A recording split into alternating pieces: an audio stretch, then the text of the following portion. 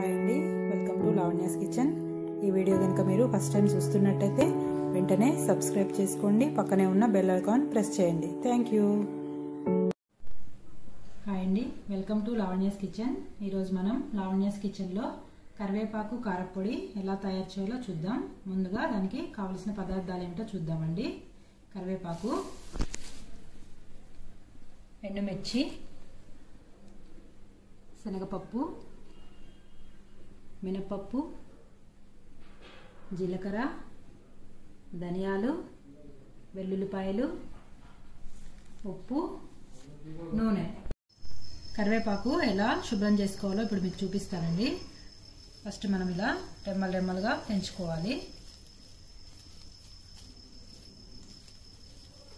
తెంచుకొని ఇలా పట్టుకొని వాటర్లో ఇలా దుమ్మంతా పోయే వరకు శుభ్రంగా పెద్ద బకెట్లో వాటర్ వేసుకొని ఇలా కొమ్మలు కొమ్మలుగా తెచ్చుకొని ఇలా నీళ్ళని నిదిలిచ్చేసి ఇలా ఒక శుభ్రమైన క్లాత్ మీద ఆరబెట్టుకోవాలండి. ఇలా మనం ఆకులు ఇలా తీసి కడిగామంటే ఇది తొందరగా నీళ్ళు వెళ్ళిపోవండి మనకి తొందరగా ఆరదు. అందుకని ఇలా మనం రెమ్మలు రెమ్మలుగా ఉంచుకోవాలి. ఇది ఇలా శుభ్రంగా విదిలించుకొని వాటర్ అంతా ఇలా ఆరబెట్టుకోవాలి. ఇలా నీడకే ఆరబెట్టుకోవాలండి. ఎండలో పెట్టకూడదు. ఇట్లా శుభ్రంగా ఆరైనాక మనం కారపొడి రెడీ చేసుకోవాలి. దీనికి మనం ముందుగా పచ్చిపప్పు వేయించుకుందాము. ఆయిల్ లేకుండానే రోస్ట్ చేసుకోవాలి. దూరగా వేగేటట్టు వేయించుకోవాలి. అన్నీ సపరేట్ సపరేట్గా వేయించుకుందామండి. శనగపప్పు ఇట్లా వేగి వేగిపోయినాయండి నీట్గా. ఇవి ఒక ప్లేట్లో ఆరబెట్టేసుకుందాము.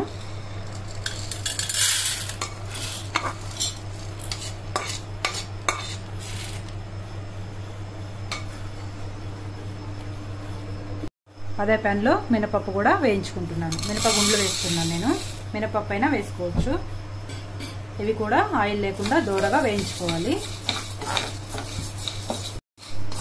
మినపప్పు కూడా ఇలా దూరగా వేయించుకోవాలి. మంచి స్మెల్ వస్తుందండి. సిమ్లో పెట్టుకొని ప్రాపర్గా వేయించుకోవాలి. ఇవి కూడా ఒక ప్లేట్లో తీసి పెట్టుకుందాం.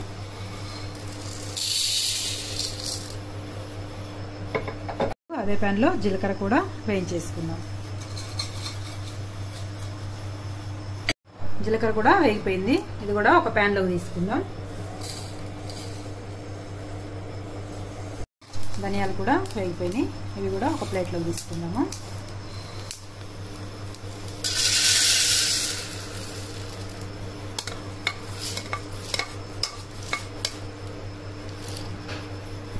ఇప్పుడు మనం ఇదే ప్యాన్లో ఆయిల్ లేకుండా కరివేపాకు కూడా వేయించుకుందాము.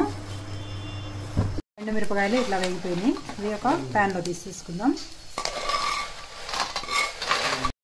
పచ్చిపప్పు మనం ఇలా మిక్సీ పట్టుకోవాలి. ఇట్లా రవ్వ రవ్వగా ఉండాలండి మనకి. అప్పుడు తినేటప్పుడు బాగుంటుంది. ధనియాలు కూడా ఇలా మెత్తగా పౌడర్ లాగా పట్టేసుకోవాలి ఇది. జీలకర్ర కూడా ఇలా మెత్తగా పౌడర్ లాగా మిక్సీ వేసేసుకున్నాం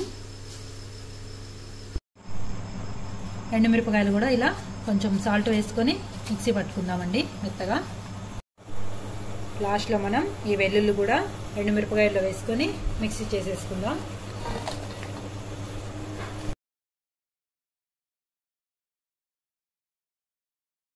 కరివేపాకు కూడా ఇలా మెత్తగా గ్రైండ్ చేసుకున్నాను. ఎండుమిరపకాయలు ఉప్పు వేసి మనం ఇలా మెత్తగా గ్రైండ్ చేసుకున్నామండి మిర్చి. ఇందులో మనం ఇప్పుడు కరివేపాకు పొడి వేసుకుందాం. రెండు రెండు స్పూన్లు వేసుకొని చక్కగా కలుపుకొని మెత్తగా మిక్సీ పట్టుకుందాం. ఇలా మెత్తగా గ్రైండ్ చేసుకోవాలండి. కరివేపాకు మిరపకాయలు బాగా మిక్స్ అయ్యి చక్కగా ఉంటుంది. చూసారండి మనం? ఎండుమిరపకాయలు కరివేపాకు పొడి వెల్లుల్లి వేసి ఇలా గ్రైండ్ చేసుకున్నాం మెత్తగా. ఇందులో సరిపడా ఉప్పు కూడా కొంచెం వేశాను నేను. ఇప్పుడు దీంట్లో మనం ఇందాక గ్రైండ్ చేసి పెట్టుకున్నాం కదా జీలకర్ర పొడి.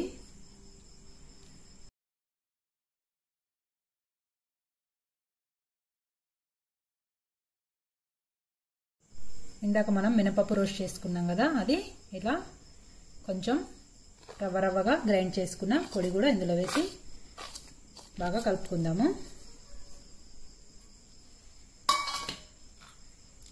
దీంట్లోనే శనగపప్పు పొడి కూడా వేసేసుకుందామండి. అన్ని పొడులు ఇలా విడివిడిగా పట్టుకోవటం వల్ల రవ్వ రవ్వగా వస్తాయి.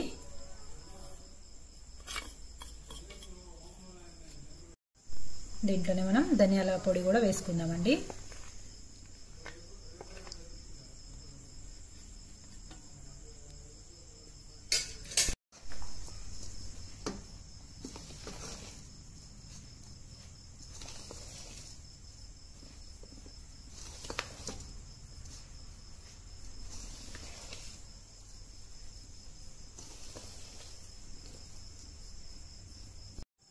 దీంట్లో కొంచెం ఉప్పు తక్కువ ఉందండి. కొంచెం సరిపడా మీరు కూడా మీ టేస్ట్ తగ్గట్టు వేసుకొని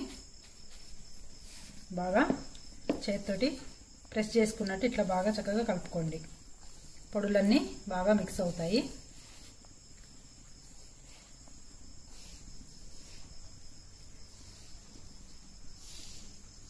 ఇది మనం ఫ్రిడ్జ్లో కూడా స్టోర్ చేసుకోవచ్చండి.